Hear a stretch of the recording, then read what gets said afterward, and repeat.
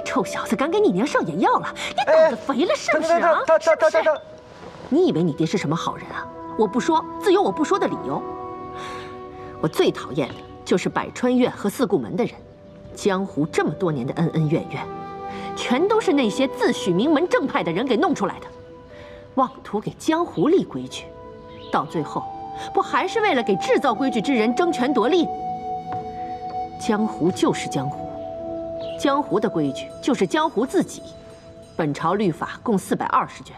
条贯有三千余册，若真算起来，有哪一条能约束得了江湖之人？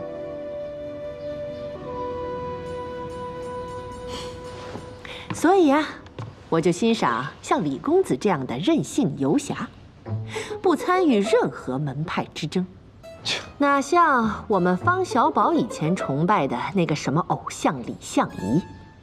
我看，所谓大侠。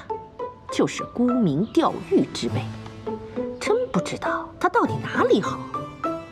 娘，林公子，你有所不知，我们小宝打小为了成为李相夷的徒弟，这么大的苦药丸子，生是往嘴里吞。他为了能站起来，日日扎针十二处大穴，疼的呀，哎呀，昏过去多少回都不肯哭出来，就为了李相夷的一句话。说他只要能拿得起剑，就收他为徒。唉，你说这小子傻不傻啊？娘，你别说了行吗？